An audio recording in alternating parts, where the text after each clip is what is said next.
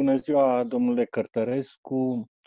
Aș vrea să încep cu această întrebare, cumva banală. Cum vă petreceți această stare de urgență determinată de pandemie și cum ați caracteriza aceste zile, uh, ultimele două luni, să spunem? Vă spun și eu bună ziua, în primul rând, și celor care ne ascultă, firește. Uh, suntem cu toții în uh, căsuțele noastre, în camerele noastre și uh, putem spune că mai respirăm nițel prin astfel de emisiuni. Și eu ascult tot timpul, sunt tot timpul pe internet, merg într-o parte, merg în cealaltă și ascult ce zic oamenii, ascult ce au de spus despre pandemie, despre starea de urgență, despre starea noastră de recluziune a tuturor. Și ce să spun, era bine să nu fi fost. Era bine să nu fi fost. Ă, este o, o anomalie, o anomalie din toate punctele de vedere, este o catastrofă, ă, ă, asemenea tuturor celor care de-a lungul timpului s-au întâmplat, războaie, cataclisme naturale, dictaturi și așa mai departe, prin care trebuie să trecem și vom trece. Și vom trece. Nenumărați oameni au trecut prin astfel de întâmplări istorice uh, tot timpul și nu uh, au disperat, nu s-au sinucis, nu, nu și-au pus uh, problemele cele mai dure. Totuși nu ne place. Totuși trebuie să spunem că nu ne place, trebuie să spunem că deși poate cei mai mulți înțeleg că e vorba despre măsuri necesare, totuși nu cred că este cineva care acceptă cu seninătate aceste lucruri. Pentru că starea de urgență, fără îndoială, este necesară în acest moment, după biata mea părere, uh, și uh, ea contribuie la salvarea de vieți. În același timp, însă, ea este, uh, prin definiție, ea înseamnă o um, reducere a drepturilor și libertăților cetățenești. Și nu numai atât, dar în psihologice foarte serioase um, care sunt de așteptat din partea fiecărui om, indiferent de situația sa. Um, acest lucru ne face să, să ne simțim oarecum încarcerați mai mult decât suntem cu adevărat. Să ne simțim încarcerați și psihologic. Să simțim că purtăm o povară, uh, uh, că ne sunt tăiate uh, drepturile normale ale noastre și anume cel de a ne plimba, cel de a ieși, cel de a de a circula, de a ne întâlni cu oamenii, de a socializa și așa mai departe, uh, care sunt uh, absolut definitorii pentru om, așa cum îl cunoaștem noi. Omul nu poate trăi separat de alți oameni. El trebuie să aibă contact cu ei, trebuie să aibă contact fizic. Când ne întâlnim unii cu alții, dăm mâna, um, ne îmbrățișăm dacă suntem prieteni și așa mai departe. Uh, suntem frustrați de toate aceste lucruri. Suntem ca și când am fi într-un uh, penitenciar, de pildă. Uh, eu nu sunt propriu-zis eu însumi în acest moment uh, extraordinar de um, nefericit, pentru că, de fapt, eu sunt obișnuit cu felul ăsta de viață.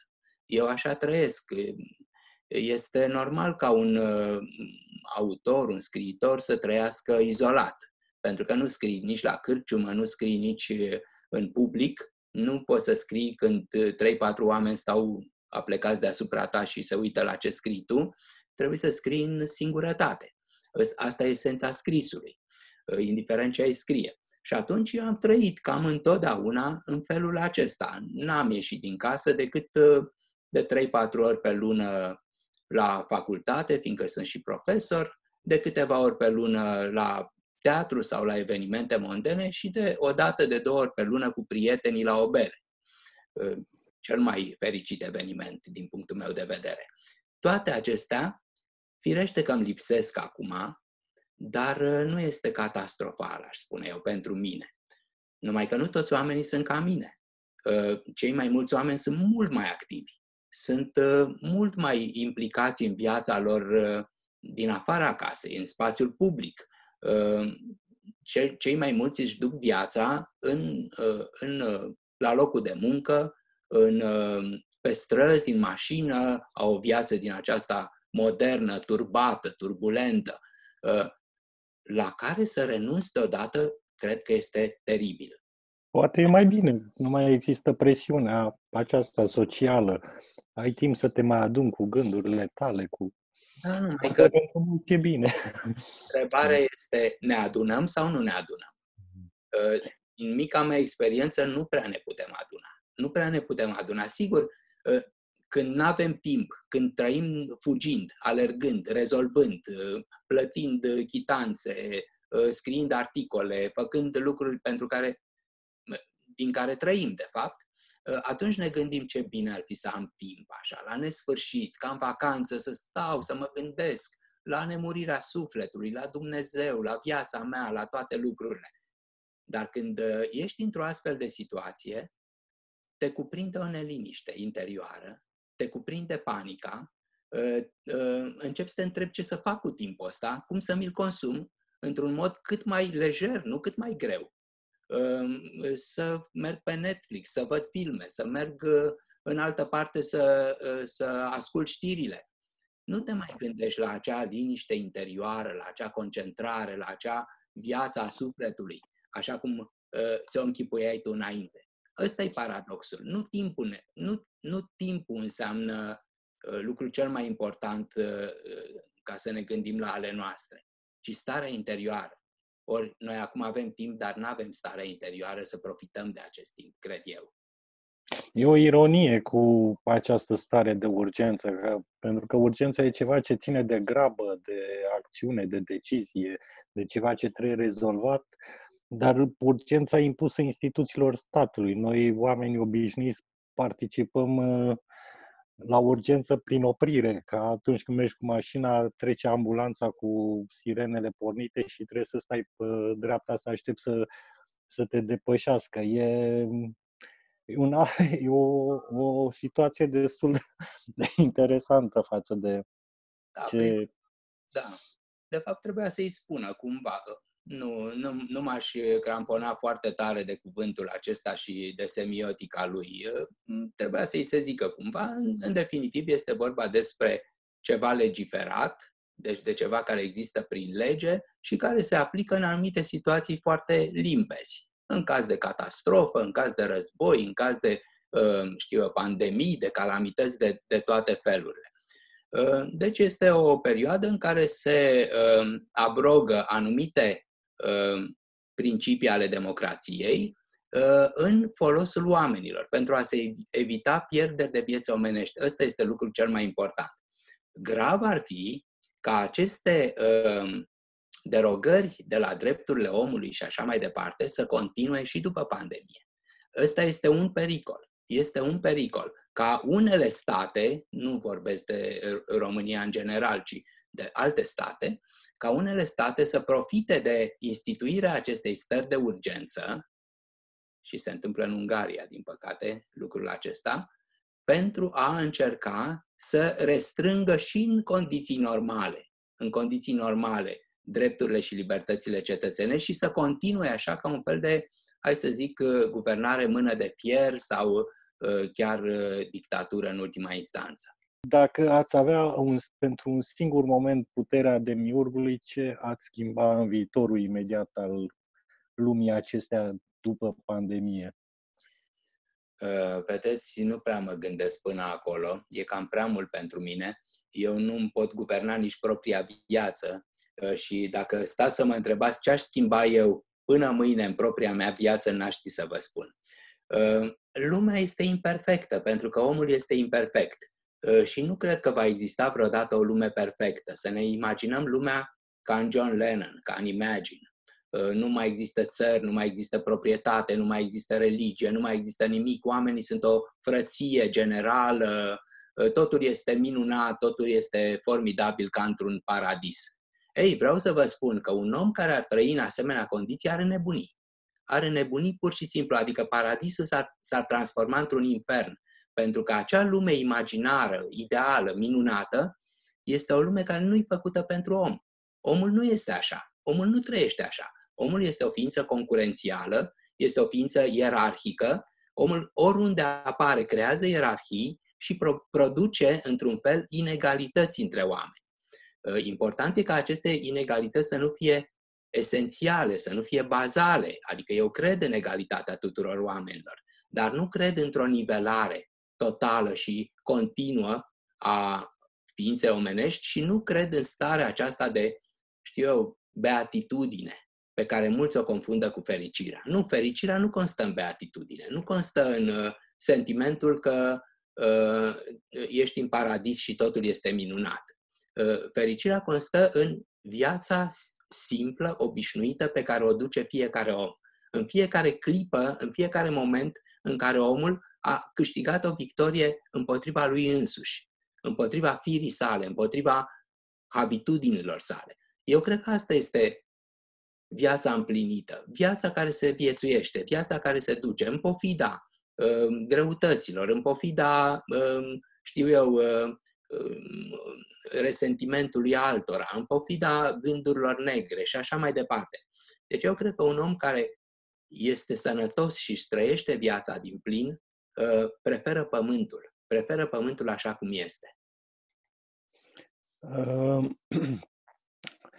De fapt, noi ne întâlnim acum ca să discutăm despre ultima dumneavoastră carte apărută, Creionul de tâmplărie. Ehm, și este o carte despre, despre prieteni, despre întâlniri, despre prietenii scriitori și despre întâlniri cu scriitori pe care i-ați admirat, i-ați citit. Și spuneți undeva mai la urma primei părți a cărții, că prietenia dintre toate iluziile a rezistat cel mai mult. Ar fi deci ultima iluzie care se destramă. Și ce înseamnă această destrămare a iluziei prieteniei? Faptul că nu poți să fii sigur de cât de propria prietenie, de propria ta iubire față de celălalt și trecând cu vederea acele lucruri care nu se pot iubi sau înțelegându-le sau Uh, mai întâi, uh, uh, ultima mea carte sau cartea mea cea mai, cea mai recentă, cum se zice, Creionul de tâmplărie, este mai curând o carte despre mine decât despre scriitori. Citeam um, eseurile Virginiei Woolf la un moment dat. Ea scria despre tot felul de scriitori britanici, dar mi-am dat seama foarte repede că ea nu era interesată de acești scriitori, ci era interesată de reacțiile ei când citea cărțile lor. Deci era interesată de ea însăși, de felul în care ea se putea raporta la acest scriitor ca să se definească, să-și definească propria artă, propria uh, literatură. Cred că același lucru se întâmplă și cu această carte. Uh, mie mi-a făcut mare plăcere să scriu despre autorii pe care i-am cunoscut în diferite împrejurări, să schițez câte un mic portret, așa, din trei linii a fiecăruia dintre ei, dar eu cred că, de fapt, dacă această carte are o calitate, este vocea care se aude acolo. Adică este vocea mea pe care uh, am mai folosit-o în diferite cărți, mai ales cele de publicistică, în care mi-am adunat publicistica. Eu am scris uh, uh, și publicistică politică, multă vreme am făcut și publicistică literară și culturală și așa mai departe, iar în cartea aceasta mi-am adunat publicistica culturală de două decenii încoace, ca să zic așa. Și uh, um, în, cred că în toate cărțile mele de publicistică, începând cu pur, pururi tânăr înveșmântat în pixel, cu baroane, cu um, peisaj după isterie și terminând cu creionul de tâmplărie, eu am încercat să folosesc o voce foarte simplă, extraordinar de simplă, care să poată fi înțeleasă de absolut oricine. Deci nu am uh, intrat în sofisticării culturale, în lucruri extrem de um, rebarbative, într-un limbaj pe care uh, specializat, pe care oamenii să nu-l înțeleagă. Eu am vrut să scriu pentru fiecare om. Sigur că nu vor cumpăra și n-au să citească cartea chiar toți oamenii. Câțiva oameni interesați care ar vrea să știe cum, cum era Nikita Stănescu, cum era Marin Preda, cum era Geluna Umș și așa mai departe. Numeroși scriitori despre care am scris dar am vrut să spun lucrurile, uh, cum să spun, și simplu, și nesofisticat, și lipsit de orice fel de snobism. Am vrut să vorbesc ca de la om la om. Eu așa vorbesc, așa sunt, așa predau studenților mei la facultate și așa scriu despre literatură, adică despre singurul lucru care mă interesează cu adevărat pe lume. Asta este lucrul pe care am vrut să vi-l spun la început. Iar acum despre prietenie. Prieteniile literare sunt un anumit gen de prietenie. Ele nu seamănă cu prietenia din copilărie, să spunem, sau cu prietenia din facultate, din studenție. Rămânem prieteni așa o vreme uh, minunat. Sunt prietenii concurențiale, sunt prietenii cu năbădăi, aș spune eu. Uh, cel mai bun prieten al meu din totdeauna a fost Traian Tecoșovei, pe care l-am iubit la nesfârșit. Nu pot să vă spun cât de mult l-am iubit pe acest uh, tânăr care mi-a schimbat viața, care mi-a, mi-a luminat viața, câțiva ani în care am fost în fiecare zi împreună, dar noi fiind cei mai apropiați prieteni, eram în același timp și adversari. Eram adversari literari. Uh, nu, nu în felul rău al cuvântului, ci în felul unui fel de emulație geloasă. Eram geloși unul pe poezia celuilalt. Uh, țin minte că odată Traian când i-a apărut o carte, una din primele cărți ale lui, mi-a dat-o cu o dedicație și cu, o, uh, cu legase de copertă un firișor așa de ață de care era atârnată o lamă de ras. Și în dedicație spunea pentru Mircea Cărtărescu să-și taie venele de invidie. Și așa mai departe. Adică, uh, prin asta vreau să spun că uh, prietenia noastră era dinamică. Nu era ceva static și idilic ne certam, ne înjuram, ne iubeam, ne uh, șutuiam. Uh, era uh, ceea ce trebuie să trăiască doi oameni adevărați, nu două figuri de hârtie care sunt prietene între ele. Deci am dus o viață cu, uh, cu Traian, am dus o viață din aceasta într-un fel de bitnici. Uh, eram tot timpul pe la petreceri, eram la discoteci, eram pe, umblam pe străzi, în tot felul de locuri interesante pe care le descopeream în oraș, locomotive vechi, ne-am și făcut poze pe niște, într-un cimitir de locomotive cu aburi, nunții de romi, tot felul de locuri și lucruri ciudate și neobișnuite și poetice, hălăduind împreună cu prietenii noștri de poezie cu Florin Iaru, cu Ion Stratan, cu Mariana Marin și așa mai departe. A fost epoca cea mai strălucită a vieții mele și pe, la care revin mereu și mereu.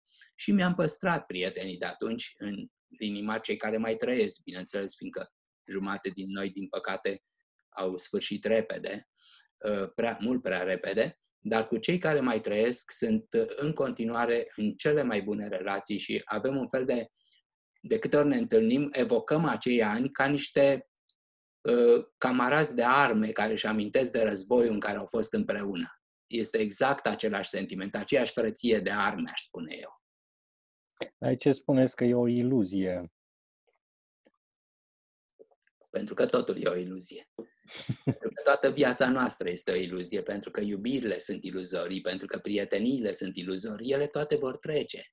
Ăsta, ăsta este este omenescul din noi. Noi cu toții trăim acest sentiment extraordinar de puternic al melancoliei, pentru că este, de fapt, sentimentul care, se, care consună cel mai mult cu destinul nostru. Suntem ființe trecătoare și știm asta și de asta suntem capabili de poezie, de asta suntem capabili de filozofie, de orice autoreflexie.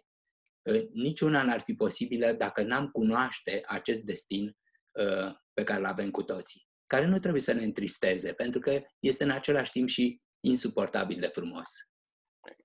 Um, o observație personală, dacă îmi permiteți. Când am citit ce spuneți despre gelul Naum, m-am gândit că dumneavoastră și cu el sunteți ca poli, poli de același semn al unui magnet. Uh, vedeți, în privința lui gelul Naum și fiecare dintre scriitorii despre care am vorbit au câte o poveste.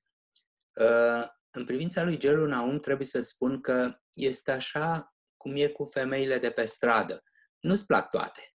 Uh, chiar între femeile cele mai frumoase, tu ai un tip mental pe care îl urmărești toată viața. Uh, de ce? Nu vreau să intru în amănunte. Sunt motive psihanalitice și așa mai departe. La fel și cu poezia. Eu iubesc foarte multe feluri de poeți și de poezie aproape toate. Uh, dar pe unele nu le iubesc, ci doar le, le respect foarte tare. Poezia lui Gelu Naum și persoana, personalitatea lui Gelu Naum intră în această categorie. Uh, înțeleg că e poezie mare, uh, o respect foarte tare, dar nu corespunde într-un fel uh, a ceea ce eu, uh, cum să spun, inconștient iubesc cu adevărat. Iubesc foarte tare poezia lui Emil Brumaru, de pildă, iubesc poezia lui Nikita Stănescu, iubesc poezia lui Mircea Ivănescu, iubesc poezia lui uh, uh, Ioanes Pop sau lui Ion Mureșan sau lui Cristian Popescu. Uh, și respect foarte tare poezia lui Gelu Naum. Asta este diferența. Deci, m-am întâlnit cu vreo doi ani înainte de a se sfârși cu Gelu Naum, trebuia să iau un interviu și uh, ne-am plimbat așa pe străzi și la, la sfârșit uh, zice, hai că vreau să-ți dau un sfat. Și zic, ce? Uh, zice, în poezie să nu faci compromisuri. Zic, mm. da, eu nu sunt poet, n-am, cred că am scris și eu câteva poezii. Nu, nu, zice, ascultă ce spun, înțelege bine ce spun. Zice, în poezie să nu faci compromis. Mm.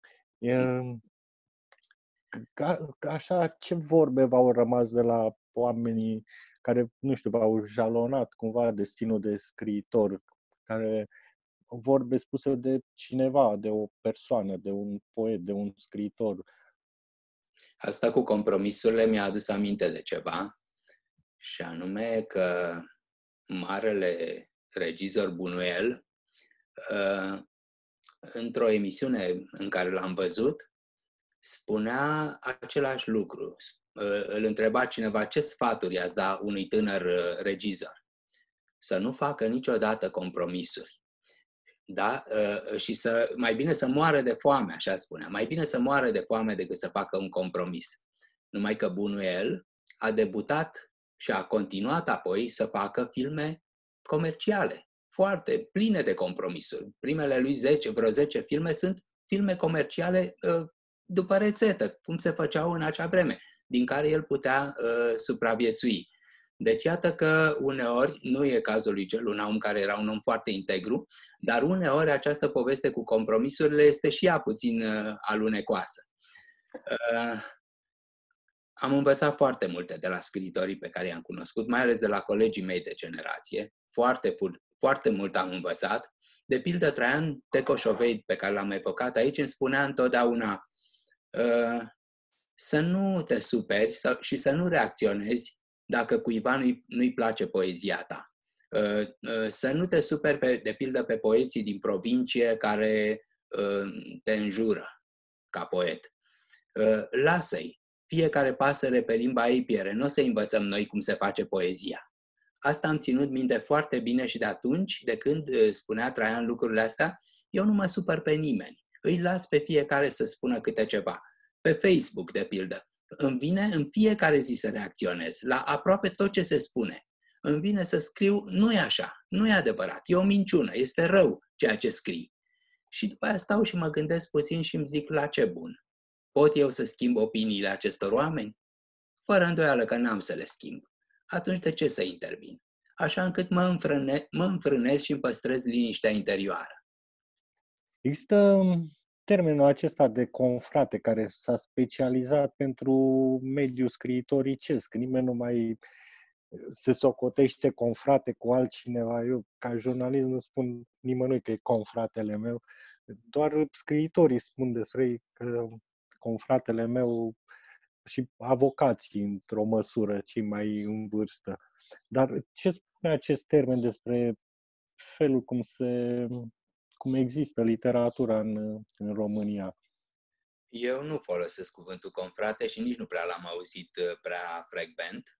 Uh, e mai curând ironic când se folosește, uh, dar într-adevăr există ceva special în lumea artiștilor în general și a scriitorilor firește, și anume un fel de sentiment de apartenență la un fel de sectă, la un fel de frăție în sensul acelor frății uh, secrete, știu eu, ale uh, pașoptiștilor, masonerii, de toate felurile.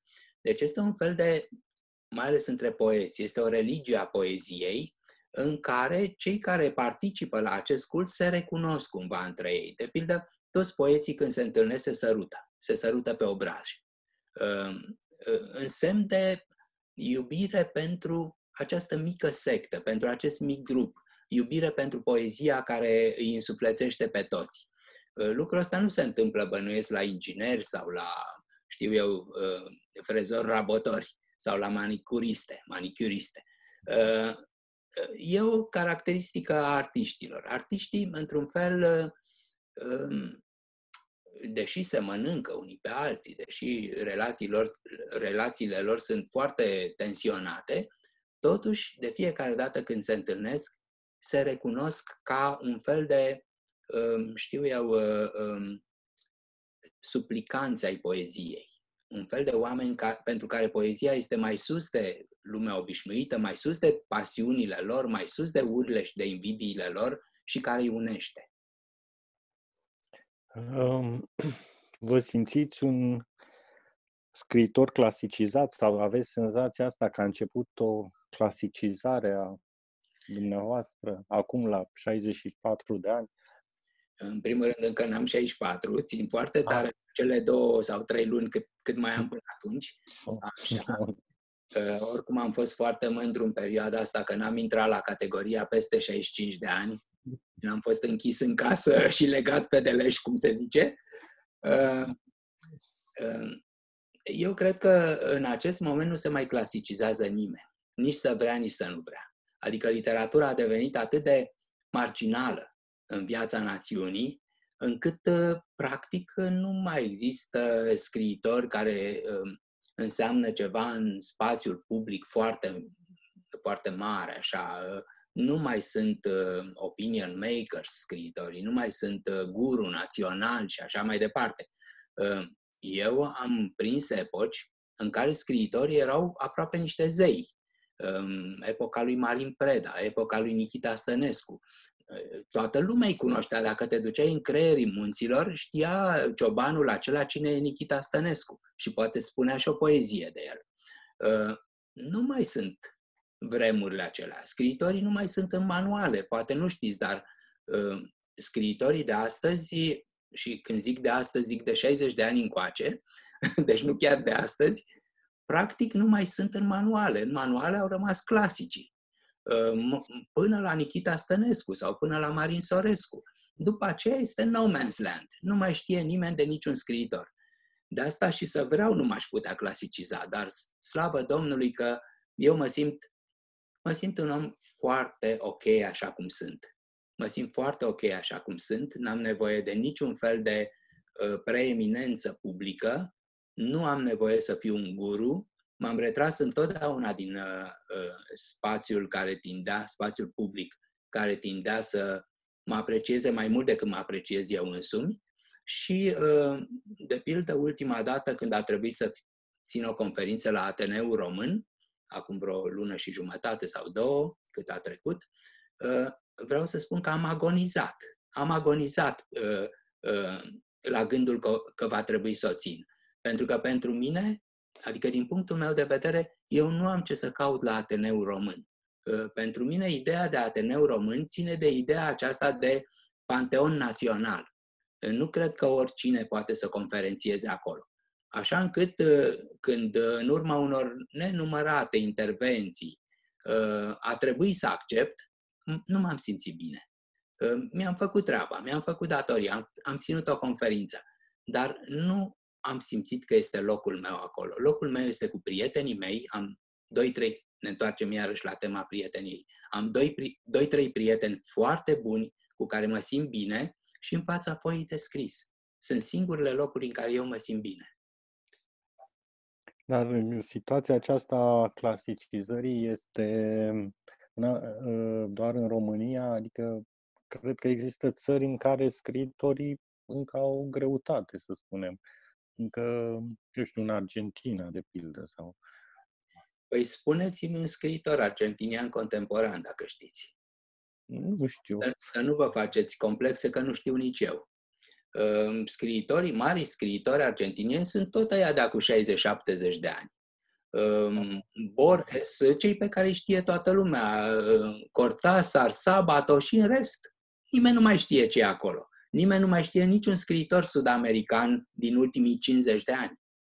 Ăsta este adevărul. Lumea s-a schimbat atât de tare, filmul, televiziunea, toate mediile au erodat atât de tare literatura, încât literatura se întoarce, și aș spune eu, se întoarce bucuroasă, se întoarce bucuroasă în anonimatul în care ea, de fapt, ar, ar trebui să trăiască și în care ea prosperă.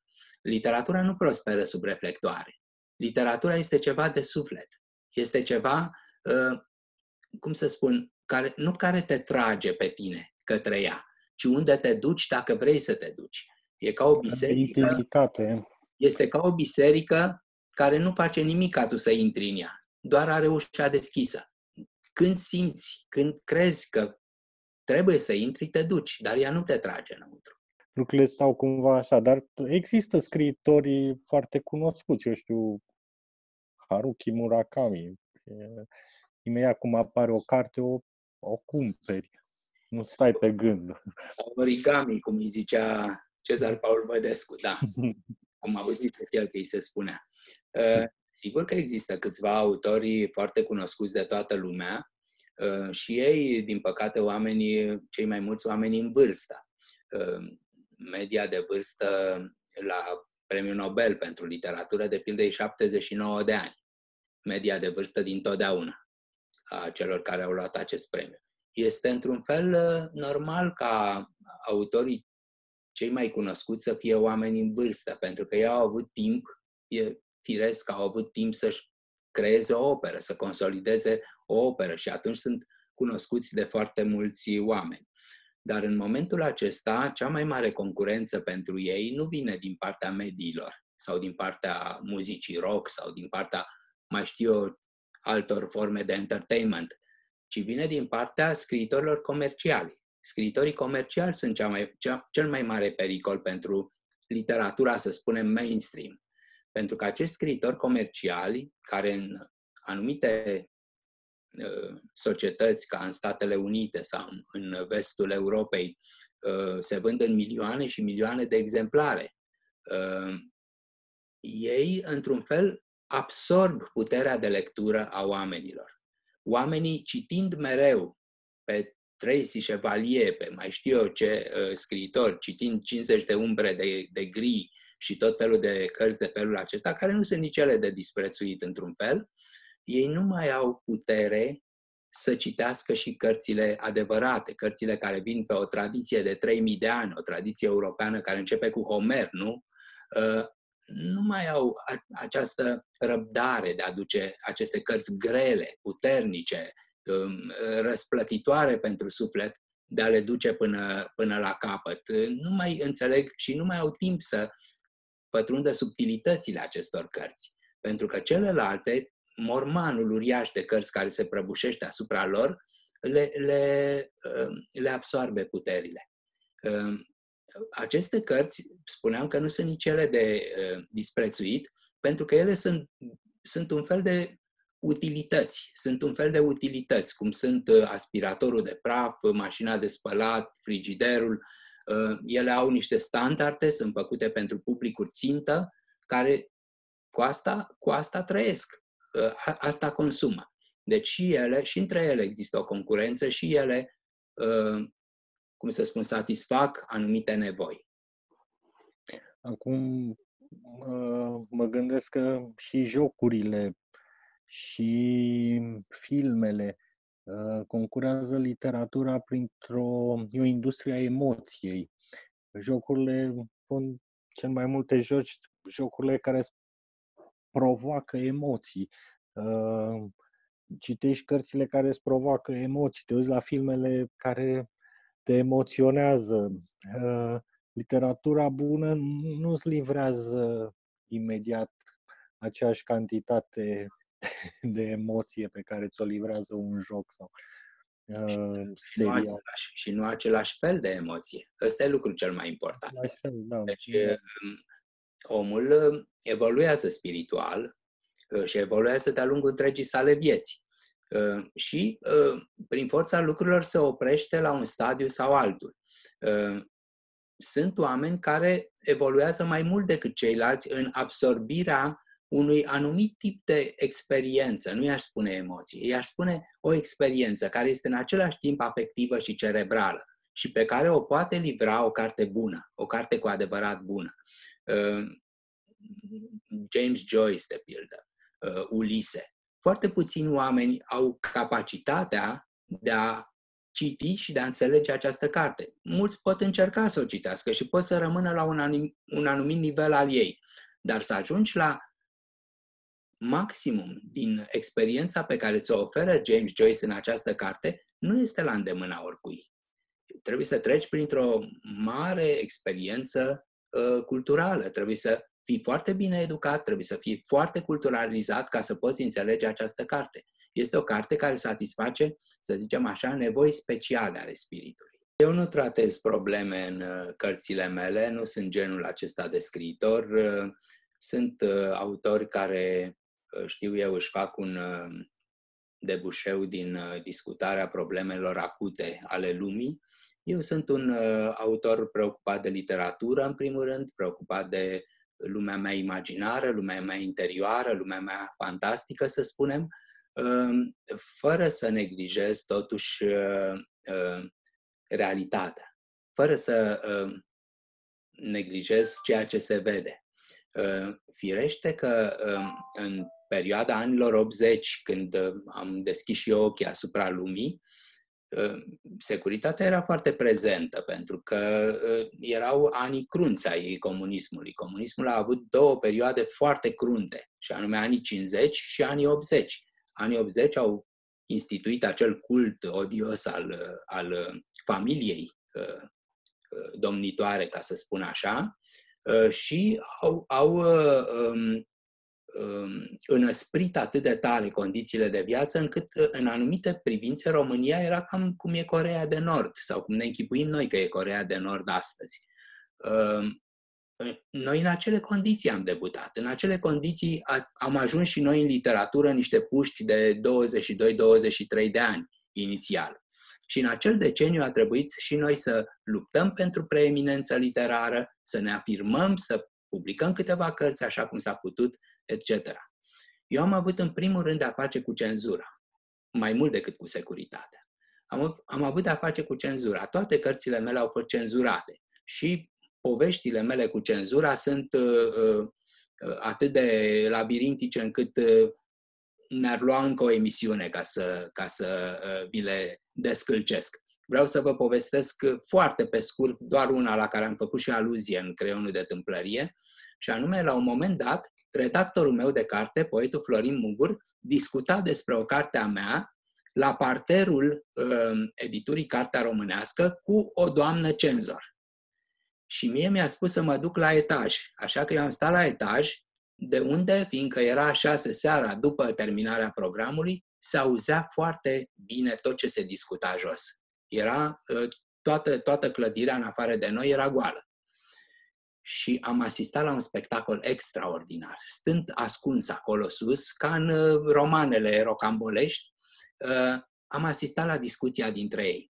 Florin Mugur, ca să o convingă să dea drumul la această carte de versuri, i-a cântat, i-a dansat, i-a recitat versurile în toate felurile cu putință, a, știu eu, persuadat-o în toate felurile, a, știu eu, amenințat-o câteodată, a lingușit-o altă dată. A fost, au fost trei ore de luptă a lui Iacob cu îngerul, ca să zic așa, până ce, în sfârșit, după, după aceste trei ore epuizante, cenzorița a cedat și a dat drumul cărții, a, a pus ștampila ca această carte să poată să meargă mai departe. După aceea, cenzorița a plecat și Florin Mugur mi-a spus că pot să cobor. Și am coborât și am mers cu el până unde stătea el acasă, la Mitropolie. Pe tot drumul n-a scos o vorbă. Era cenușiu la față, a mers numai cu ochii în pământ, era un om epuizat, era un om terminat.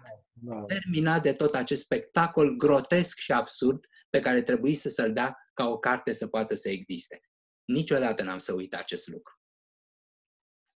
Bine, păi vă mulțumesc pentru, pentru acest interviu. Poate Mai facem încă unul să... Mulțumesc și eu pentru invitație.